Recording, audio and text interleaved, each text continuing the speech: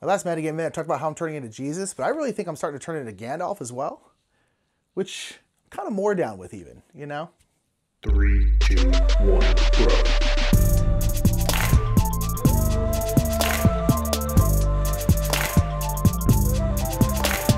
What's up, everybody? My name is Nick Murphy. I'm one half of the Brothers Murph, and this is Metagame Minute. Metagame Minute is a weekly segment where Mike or I talk about anything we want to talk about in the gaming world today. And today, I want to talk about how board games are incredibly, stupidly cheap. I think they're immensely affordable, and the reason why I think that is is through uh, comparing it to other things that cost money. Of course, board games cost money. A hundred dollar games is still $100. You have to have that $100, be able to spend that $100 on that game and not like be like, I'm not paying my rent this month because I need this new game. That's not what I'm talking about. Sure, there are things that are objectively cheaper than board games.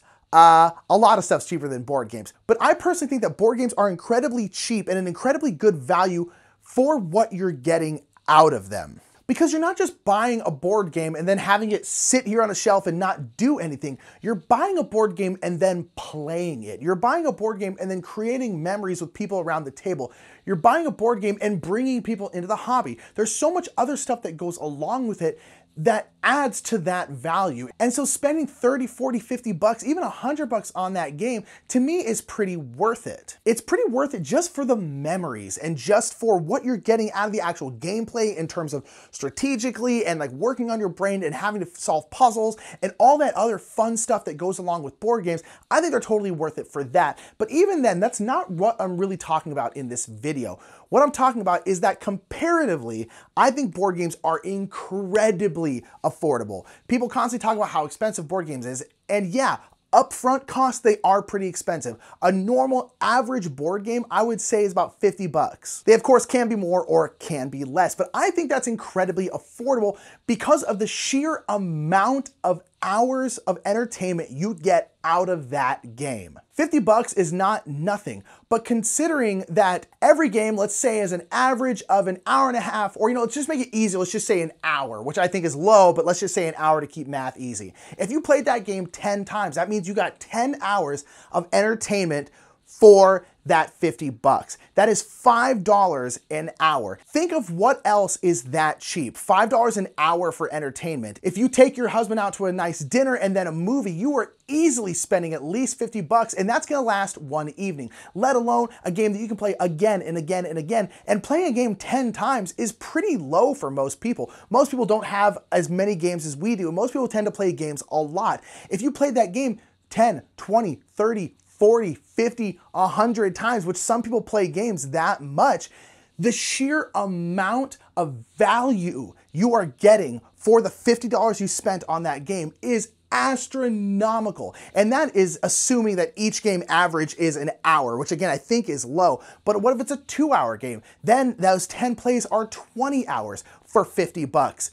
That is incredibly cheap, in my opinion. Many people watching us have families, they have husbands, they have wives, they have kids. Try taking your wife and kids out to movies. That's gonna be a $50 fare easy if you get off lucky, and that's just one evening, a couple hours watching a movie, and it's totally worth it to do that.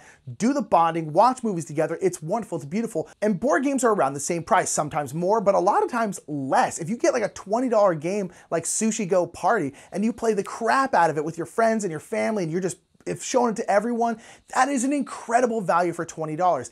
And even the big games, games that are like $100, like Feast for Odin, Zombicide, something with tons of plastic, all this stuff, I'm gonna go ahead and exclude Kickstarter because then you get all these add-ons and stuff and that kind of, that just gets all over the place anyway. But let's just say something out of the box is $100, something like Feast for Odin. But even that to me is incredibly affordable considering how many hours you can get out of that, even if you just play it like 10 times for the price. If you play it 10 times at an hour each, that is $10 an hour, which is not the cheapest thing in the world, but again, compared to a lot of other things, that's actually pretty darn affordable. There are things that are cheaper, of course. Go hiking, get out into nature. That is literally free. There are a bunch of things that are cheaper than board games, but nonetheless, I think people complain a lot about board games and how expensive they are because they're only thinking of the upfront cost. And of course, that's totally fair. I'm super poor. I have to think, man, can I really afford this? But when you take that out of it and you really think of the value you're getting for your dollar, the value to dollar ratio, board games are incredibly affordable. Incredible. And that's just the amount of hours you're getting out of the play, not including the memories, not including keeping your brain sharp because you're heavy thinking and critical thinking, not including getting to sit down with people across the table, which is something we don't do anymore because everyone's on their phones all the time. All of those things put together make board games, in my opinion, incredibly cheap and a really, really, really astonishingly good value. So that's what I say when I think that board games are cheap. For the record, I also think that video games are incredibly cheap, considering you can play a game like Skyrim for like a hundred plus hours,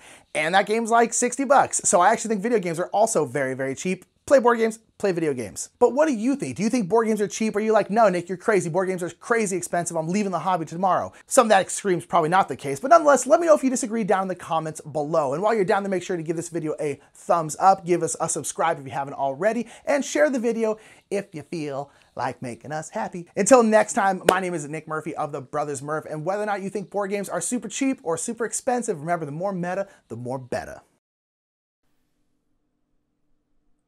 Hello.